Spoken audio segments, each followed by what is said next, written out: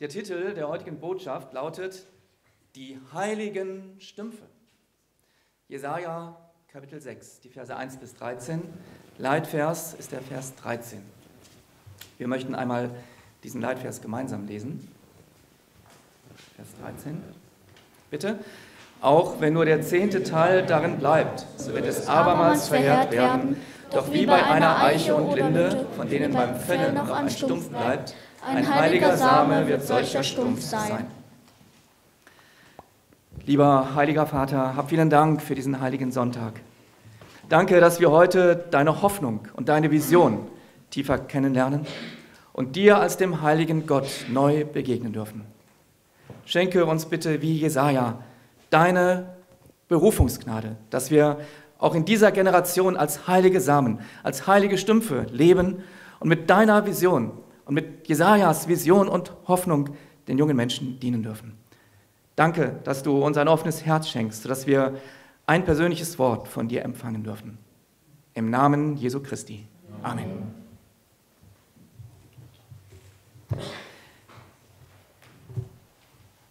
In der letzten Woche haben wir das Jüngererziehungswerk durch Apostel Paulus in der Tyrannusschule in Ephesus kennengelernt.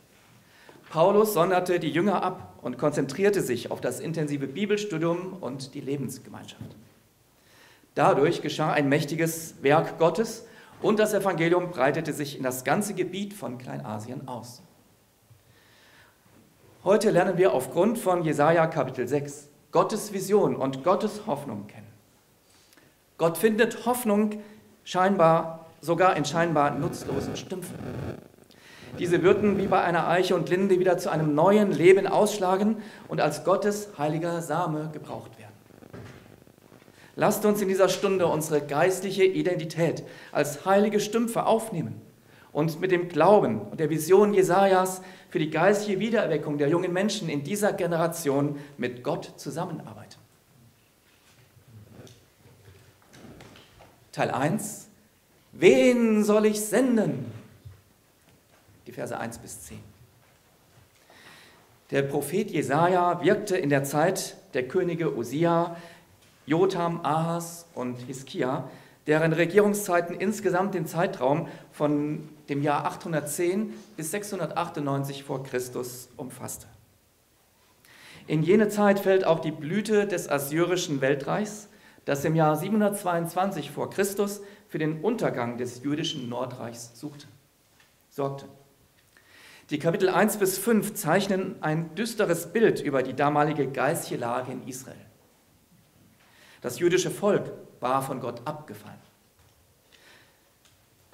Das Herz Gottes war wegen seines Volkes zerbrochen.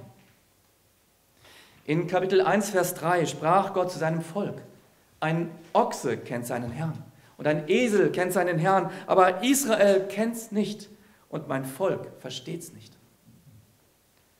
Gott hatte sein widerspenstiges Volk immer wieder aus Liebe gezüchtigt und sie geistig, um sie geistig wiederherzustellen. Doch schließlich musste Gott das Gericht über sie kommen lassen, weil sie nicht zu Gott umkehrten. Wie schmerzte Gottes Herz, als er in dem Vers 10 die Oberen des Volkes, Herren von Sodom und das Volk, Volk von, so von Gomorra nennen musste. Wirtschaftlich hatte das Land unter dem König Osia eine Zeit des Wohlstandes erlebt. Doch dann wurde der König hochmütig und wollte eines Tages selber das Opfer im Tempel darbringen. Daher wurde er von Gott mit Aussatz bis an sein Lebensende gestraft. Sehen wir uns den Vers 1 an. Wir möchten Vers 1 einmal gemeinsam lesen aus Kapitel 6, Vers 1. Bitte. In dem Jahr, als der König Osia starb, sah ich den Herrn sitzen auf einem hohen und erhabenen Thron und sein Saum füllte den Tempel. Vielleicht fragte sich Jesaja, wie es nun in seinem Lande weitergehen würde. Es gab im ganzen Land viele selbstsüchtige und verantwortungslose Männer sowie stolze und verführerische Frauen. Und selbst die Leiter waren auf ihre persönlichen Vorteile aus. Die Menschen waren wie verirrte Schafe ohne Hirten. Als König Osia starb, musste Jesaja wegen der ungewissen Zukunft um sein geliebtes Volk sehr besorgt gewesen sein. Jesaja suchte Gottes Orientierung und Gottes Nähe. Und mit einem zerschlagenen Hirtenherzen ging er in den Tempel. Vers 1 sagt, dass Jesaja den Herrn sitzen sah auf einem hohen und erhabenen Thron. In einer großartigen Vision erblickte er die Herrlichkeit Gottes. Dadurch erkannte Jesaja, Gott ist der heilige Gott. Er sitzt auf dem Thron und er regiert. Er ist der allmächtige und souveräne Herrscher. Die Heiligkeit Gottes ist eine der wichtigsten Eigenschaften Gottes. Wegen seiner Heiligkeit mussten die versündigten Menschen das Paradies verlassen und getrennt von Gott leben. Der heilige Gott aber sehnt sich danach, uns, die Sünder, zu heiligen, um mit uns Gemeinschaft haben zu können. Im Alten Testament gebot Gott seinem Volk und sprach wiederholt, Darum sollt ihr heilig sein, denn ich bin heilig. Gottes Volk sollte anders als die Völker der Welt dem Herrn heilig leben. Durch die Stiftshütte, später durch den Tempel und den damit verbundenen Opferdienst bereitete Gott die Umgebung, dass die versündigten Menschen als Gottes heiliges Volk wiederhergestellt werden könnten. Schließlich bereitet Gott selbst den neuen, lebendigen Weg vor, indem er Jesus als den verheißenen Messias in die Welt sandte, der durch seinen stellvertretenden Opfertod am Kreuz die versündigten Menschen mit dem heiligen, heiligen Gott wiederherstellte. In Johannes 17, Vers 19 sagte Jesus, ich heilige mich selbst für sie, auf dass auch sie geheiligt seien. Im Lukas-Evangelium jubelt Zacharias in seinem Lobgesang über den Messias und er ruft, dass wir erlöst aus der Hand unserer Feinde Ihm dienten unser Leben lang in Heiligkeit und Gerechtigkeit vor seinen Augen. Im Tempel wurden Jesajas Augen geöffnet für die Heiligkeit Gottes. Gott ist der heilige und herrliche, ewige König. Er sitzt auf dem Thron und er regiert von Ewigkeit zu Ewigkeit. Gott war umgeben von Seraphim, die den heiligen Gott anbeteten und ihm dienten. Sehen wir uns dazu einmal die Verse 2 und 3 an. Wir möchten diese Verse 2 und 3 gemeinsam lesen. Bitte. Seraphim standen über ihm, ein jeder hatte sechs Flügel, mit zwei deckten sie ihr Antlitz, mit zwei deckten sie ihre Füße und mit zwei flogen sie. Und einer rief zum anderen und sprach, Heilig, heilig, heilig ist der Herr Zebaoth. Alle Lande sind seiner Ehre voll. Welch ein erhabener Anblick des heiligen Gottes und welch ein ergreifender Lobpreis der Seraphim. Heilig, heilig, heilig, Gott ewig Vater, hör wie deiner Kinder Lied dich ewiger Staunen preist. Heilig, heilig, heilig, gnädig und allmächtig, Herr Vater, Sohn und Geist. Jesaja schien in einer völlig anderen Welt angekommen zu sein. Bevor er in den Tempel ging, konnte er über sein Volk nur den Kopf schütteln und verzweifeln. Aber im Tempel öffnete Gott Jesajas geistliche Augen, sodass er den heiligen und allmächtigen Gott persönlich begegnete. Ist es nicht das, was auch wir immer wieder brauchen? Heraus aus dieser gefallenen Welt und hinein in das Haus Gottes, wo wir den heiligen, lebendigen und allmächtigen Gott begegnen. Heute am Sonntag und auch an jedem Tag der Woche. Wir kommen in das Haus Gottes und wir suchen Gottes Angesicht in seinem Wort, im Gebet und in der geistlichen Gemeinschaft. Gott lädt damals und auch heute die Menschen zu sich ein. Einst sagte Gott durch den Propheten Amos in Amos 5, Vers 4, ja, so spricht der Herr zum Hause Israel, suchet mich, so werdet ihr leben.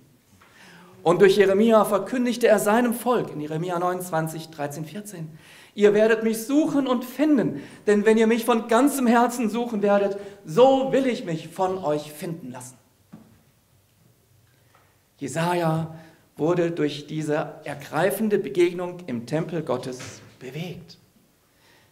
Bisher hatte er gedacht, dass der Abfall und die Gottlosigkeit seines Volkes zu groß geworden wären. Doch was sagen die Seraphim? Alle Lande sind seiner Ehre voll. Gott öffnete im Tempel Jesajas geistliche Augen und Ohren. Er lernte die Welt von Gottes Gesichtspunkt aus zu betrachten. Alle Lande sind voll von der Ehre Gottes. Selbst die heiligen Seraphim bedeckten ihr Angesicht vor dem heiligen Gott. Diese Heiligkeit Gottes ist in den gefallenen und versündigten Menschen verloren gegangen. In unserer Zeit leben die meisten Menschen so, als ob es keinen Gott gäbe. Sie kennen nichts von Gottes Heiligkeit, darum missbrauchen sie sogar Gottes heiligen Namen. Darum leben sie so, als ob sie nie, niemandem Rechenschaft schuldig wären. Die EU hat den Namen Gottes aus der Verfassung herausgestrichen. Viele führende Politiker verzichten sogar bei ihrer Vereidigung als Minister auf den Zusatz, so wahr mir Gott helfe. Das ist kein gutes Zeichen und offenbart die schwindende Gottesfurcht in unserem Land. Als Jesaja in der finsteren Lage in den Tempel Gottes kam und Gott begegnete, da sah er, dass Gott der wahre und ewige König auf dem Thron ist. Dieser Gott ist heilig. Dieser Gott regiert. Dieser Gott ist zu fürchten. Dieser Gott ist der Herr der Geschichte. Und dieser Gott ist es, dessen Ehre alle Lande voll sind. Amen. Von Jesaja lernen wir, dass er inmitten der Not und der finsteren Lage in den Tempel Gottes ging. Er suchte Gottes Nähe und Gottes Angesicht. Kommen auch wir in das Haus Gottes.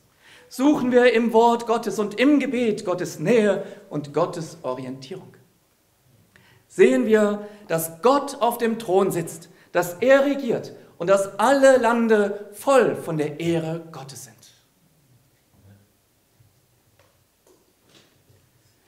Durch die Jahresleitwort-Symposien der Mitarbeiter und der nächsten Generation durften wir uns an das mächtige Wirken Gottes im vergangenen Jahr erinnern. Gott wirkte gnädig und mächtig unter uns. Wir sehen Gottes Wirken in den Täuflingen, in den Abiturienten, ja in der nächsten Generation und in den Hoffnungsträgern. Bei Konferenzen, Bibelseminaren und Masterkursen erlebten wir Gottes mächtiges Wirken durch die Botschaften und Vorträge der nächsten Generation.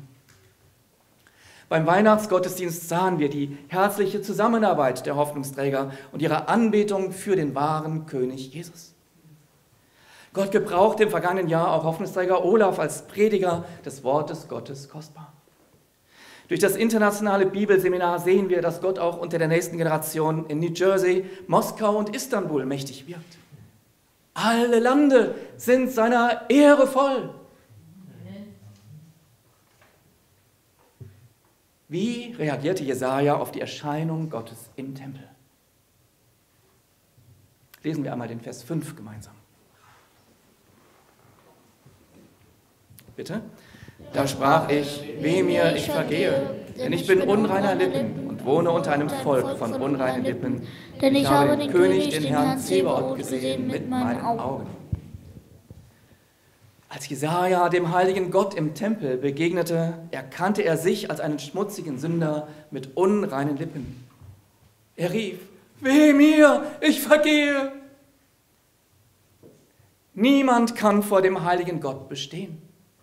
Gottes Heiligkeit offenbart unsere Unheiligkeit und Sünde. Jesaja tat auf der Stelle Buße. Er tat Buße über seine unreinen Lippen, mit denen er ungläubige, verletzende, ja vielleicht sogar fluchende Worte über sein Volk ausgesprochen hatte. Betrachten wir die Verse 6 und 7. Unsere nächste Generation möchte einmal Verse 6 und 7 lesen. Bitte? Da flog einer der Seraphim zu mir und hatte eine glühende Kohle in der Hand, die er mit der Zange vom Altar nahm, und rührte meinen Mund an und sprach, siehe, hiermit sind deine Lippen berührt, dass deine Schuld von dir genommen werde und deine Sünde gesühnt sei. Danke. Die Berührung mit einer glühenden Kohle musste sehr schmerzhaft gewesen sein. Durch Jesajas schmerzhafte Buße und durch das Berühren mit der feurigen Kohle stellte Gott Jesaja als seinen Boten wieder her. Gott reinigte Jesajas Lippen, nicht länger ungläubige Worte zu sprechen, sondern gläubige Worte zu reden, sodass er Gottes Botschaft zu seinem Volk bringen konnte. Wir erinnern uns, wie Gott in unseren fünf Täuflingen mächtig wirkte. Durch das intensive Bibelstudium und die geistliche Dienerschaft der Knechte Gottes, auch durch das Schreiben ihrer persönlichen Glaubenszeugnisse, erfuhren sie die Wirksamkeit des Wortes Gottes in ihrem Leben. Sie kamen mit ihren Anliegen zu Jesus. Sie durften Buße tun und erfahren, wie Gott ihre unreinen Lippen reinigte. Durch die Taufe bezeugten sie ihr neues Leben in Christus. Nun arbeiten sie herzlich mit ihren Eltern und innerhalb des Werkes Gottes zusammen. Mit Freude nehmen sie an den übrigen Leiden Jesu teil. Im vergangenen Jahr gebrauchte Gott sie kostbar als Prediger des Wortes Gottes und als Vortragende, zum Beispiel bei den Leadership-Seminaren und Masterkursen. Zu allen Zeiten bewirkt Gott durch sein lebendiges Wort Buße, Reinigung und geistliche Wiederherstellung. Das erfuhr auch Jesaja. Sehen wir uns jetzt den Vers 8 an. Wir möchten auch Vers 8 gemeinsam lesen. Bitte. Und ich hörte die Stimme des Herrn, wie er sprach, wen soll ich senden? Wer will unser Bote sein? Ich aber sprach, hier bin ich, sende mich. Jesaja hatte Gottes Sündenvergebungsgnade empfangen. Seine unreinen Lippen waren durch die heiße Kohle der Buße verbrannt worden. Nun rief Gott mit dem zerbrochenen Hirtenherzen, wen soll ich senden? Wer will unser Bote sein? Gott wollte unbedingt mit Jesaja zusammenarbeiten. Gott suchte einen Boten, der bereit war, sich senden zu lassen. Jesaja verstand dieses Herz Gottes wenn er daran dachte, wie sehr Gott sich danach sehnte, einen Boten zu seinem versündigten Volk zu senden, konnte er nicht unentschlossen oder passiv bleiben. Jesaja hatte gerade die Reinigungsgnade Gottes durch feurige Kohle vom Altar erfahren. Sollte er diese Gnade nur für seinen eigenen Vorteil gebrauchen? Sollte er mit seiner eigenen Erlösung zufrieden und selbstgerecht bleiben? Nein, das konnte er nicht. Er war von Herzen entschlossen und bereit, sich von nun an von Gott gebrauchen zu lassen. Und darum brauchte er keine Bedenkzeit. Auf Gottes Ruf konnte er sofort und ohne zu zögern antworten, hier bin ich, sende mich. Vielleicht betete er so, du heiliger Gott, hast meine unreinen Lippen gereinigt und hast mir das neue Leben geschenkt. Bitte sende mich nun zu meinem Volk, damit auch sie gereinigt werden und zu einem heiligen Gottesvolk wiederhergestellt werden.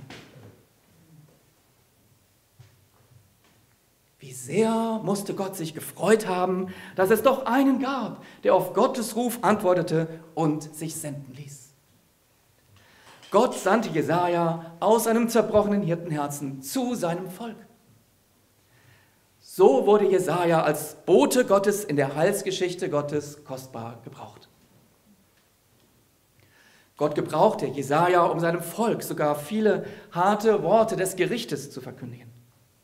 Jesaja musste im Auftrag Gottes gegen das unbußfertige Nordreich weissagen und seine Zerstörung ankündigen, ebenso auch die Belagerung Jerusalems.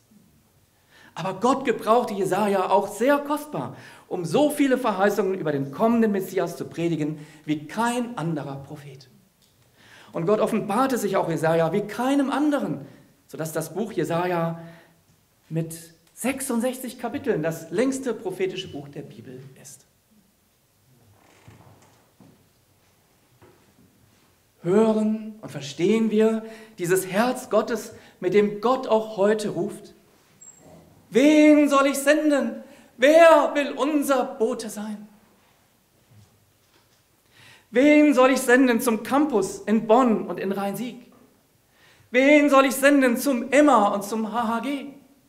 Zu den 360 Hochschulen in Deutschland, zu 1700 Unis in Europa und in die muslimische Welt?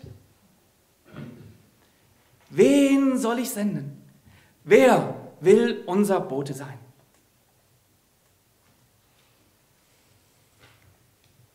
Wie leben wir mit der Berufung Gottes, weil unser Gott heilig ist?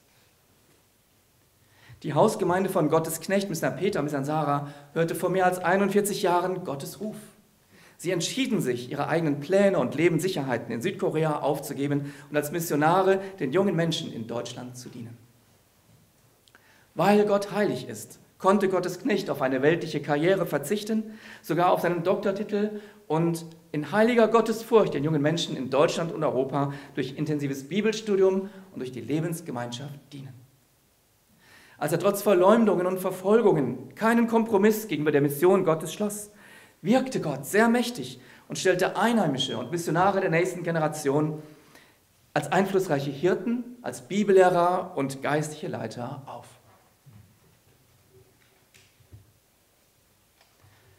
Was sprach Gott weiter zu Jesaja? Lesen wir einmal die Verse 9 und 10. Wir möchten diese Verse auch zusammen lesen, 9 und 10. Bitte. Und er sprach, geh hin und sprich zu diesem Volk. Höret und versteht es nicht, sehet und merket es nicht. Verstocke das Herz dieses Volks und lass ihre Ohren taub sein und ihre Augen blind, dass sie nicht sehen mit ihren Augen, noch hören mit ihren Ohren, noch verstehen mit ihrem Herzen und sich nicht bekehren und genießen. Gott hatte Jesaja mit seiner großen Hoffnung und Vision berufen. Doch Gott lehrt Jesaja auch, dass er keine falschen Erwartungen haben sollte. Obgleich Jesaja länger als 40 Jahre lang seinem Volk predigte, würde das Volk, würde das Volk verstockte Herzen und taube Ohren haben, sodass sie nicht hören, noch verstehen, noch sich bekehren würden. Doch Gottes zerbrochenes Hirtenherz für sein Volk, es war unveränderlich. Er wollte sie durch Jesaja Tag für Tag neu zur Umkehr rufen und Tag für Tag neu seine Hoffnung offenbaren.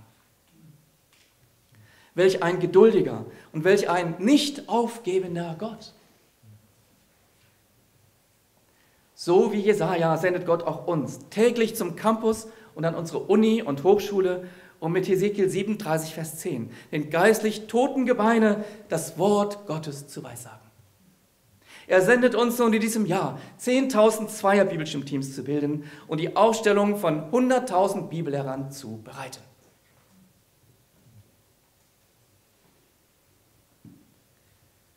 In diesem Abschnitt haben wir über Gottes Heiligkeit und über Gottes zerbrochenes Hirtenherz nachgedacht. Als Jesaja in den Tempel Gottes kam und die Nähe Gottes suchte, offenbarte Gott sich ihm in einer Vision. Er sah, dass Gott auf dem Thron sitzt und regiert. Er sah, dass Gott heilig ist und alle Lande voll von der Ehre Gottes sind.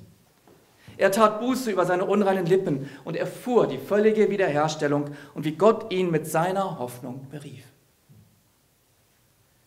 Fürchten auch wir diesen heiligen Gott. Sehen wir mit geistlichen Augen, dass Gott regiert und dass alle Lande seiner Ehre voll sind.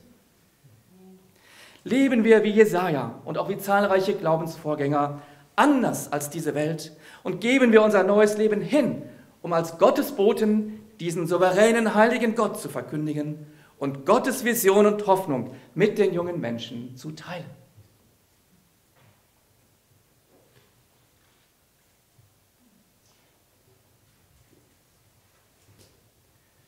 Teil 2. Der heilige Samen die Verse 11 bis 13. Jesaja fragte sich aufgrund dieser Worte Gottes, wie lange er denn zu Menschen mit verstockten Herzen predigen müsste. Sehen wir uns die Verse 11 und 12 an. Wir wollen auch diese Verse gemeinsam lesen. Bitte. Ich aber sprach, Herr, wie lange? Er sprach, bis die Städte wüst werden, ohne Einwohner, die Häuser ohne Menschen, das Feld ganz wüst da liegt. Der Herr wird die Menschen weit weg tun, sodass das Land sehr verlassen sein wird. Danke. Wir können Jesajas Frage, Herr, wie lange? gut verstehen, nicht wahr? Wir fragen uns auch manchmal, Herr, wie lange soll ich zu diesem Campus gehen? Wie lange soll ich diesem Hoffnungsträger dienen? Wie lange, bis ein Abraham oder eine Sarah des Glaubens aufgestellt werden? Wie lange bis zur geistlichen Wiedererweckung?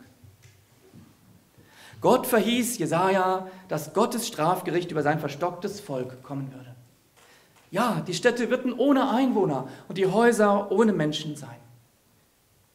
Diese Worte beziehen sich auf die Wegführung in die babylonische Gefangenschaft. Gottes Gericht würde sich sogar wiederholen, bis nur noch ein kleiner Rest, weniger als 10 Prozent, übrig bleiben würde. Die Menschen würden Jesajas Worte nicht annehmen.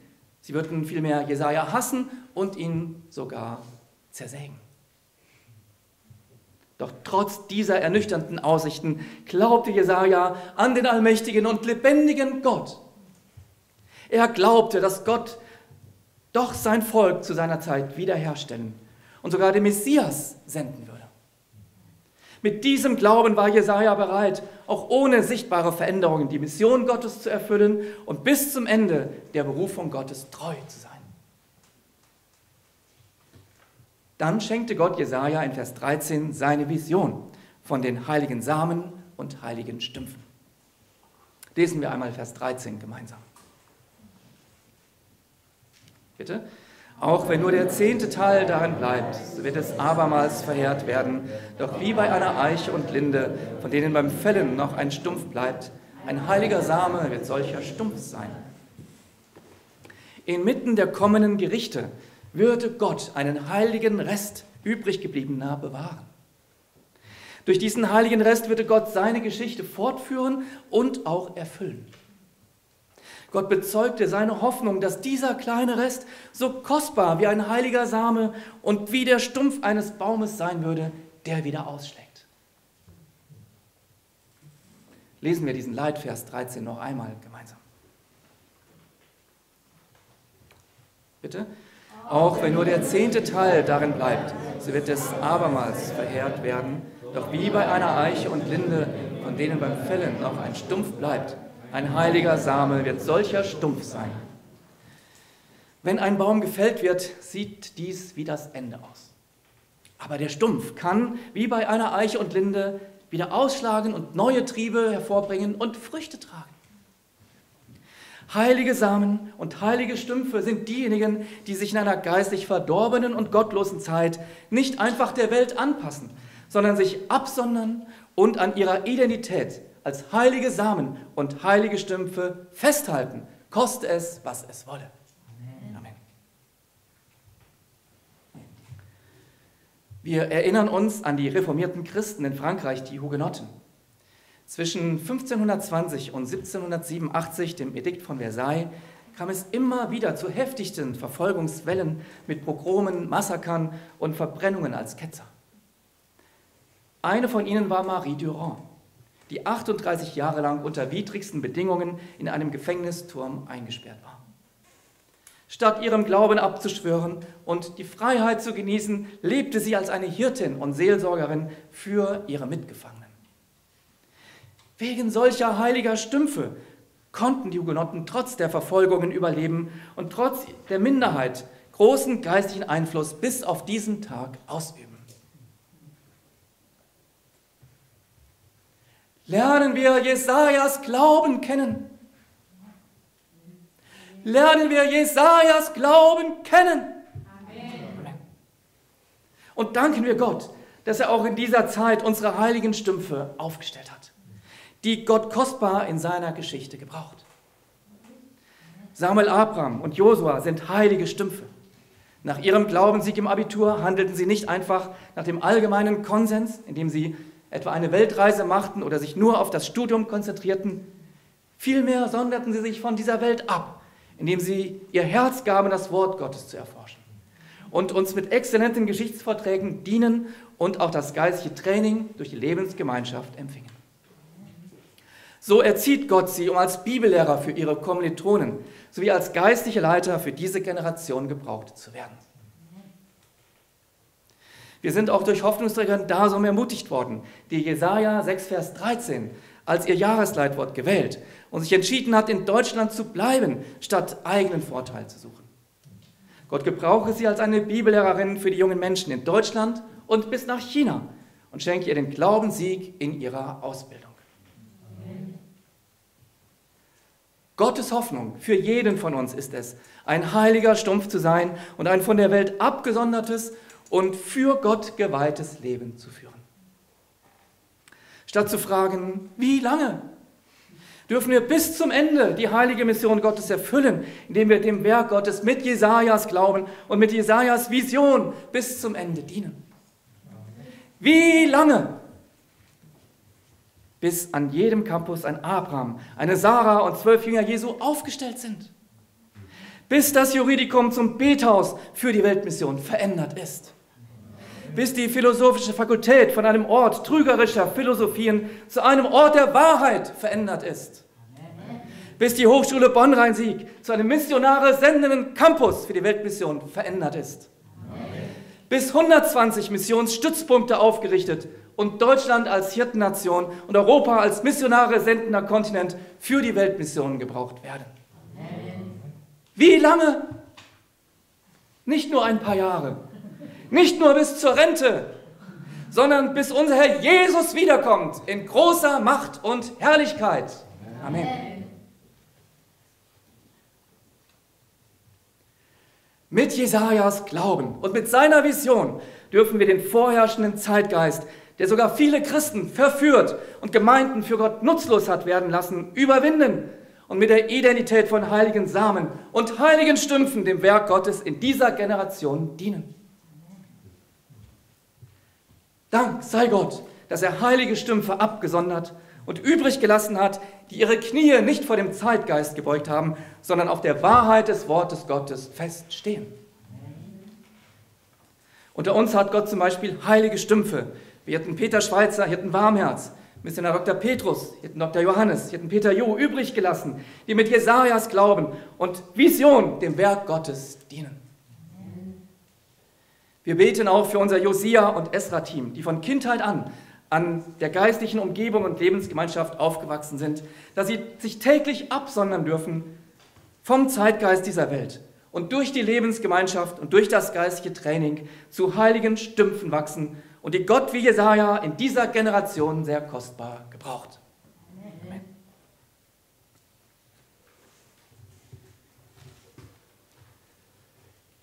Heute haben wir gelernt, dass Gott auf dem Thron sitzt und dass er regiert und dass alle Lande voll von der Ehre Gottes sind. Dieser heilige Gott reinigt unsere unreinen Lippen des Unglaubens. Er beruft uns mit seinem zerbrochenen Hirtenherzen, seine Boten zu sein, die diesem Volk und dieser Generation durch den Glauben und mit der Vision und Hoffnung Gottes bis zum Ende dienen. Gott schenke uns die persönliche Entscheidung, uns abzusondern von der Welt und vom Zeitgeist und als heilige Samen und als heilige Stümpfe mit Gott für die geistige Wiedererweckung Deutschlands, Europas und der muslimischen Welt zusammenzuarbeiten. Lesen wir gemeinsam den Leitvers, Vers 13. Bitte.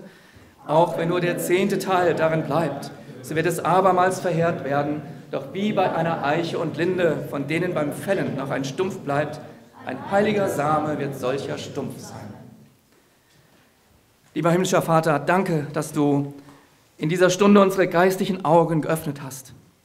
Du bist der heilige Gott, der auf dem Thron sitzt und regiert. Und alle Lande sind deiner Ehre voll. Hab Dank, dass du auch uns, wie Jesaja, berufst um mit Jesajas Glauben und mit Jesajas Vision den jungen Menschen zu dienen, dass sie dich als den heiligen Gott erkennen und eine Entscheidung treffen dürfen, abgesondert von der Welt, als heilige Samen und heilige Stümpfe gebraucht zu werden. Erfülle uns mit Jesajas Glauben und gebrauche jeden Einzelnen als heiligen Samen und heiligen Stumpf für die geistige Wiedererweckung in dieser Generation. In Jesu Namen. Amen.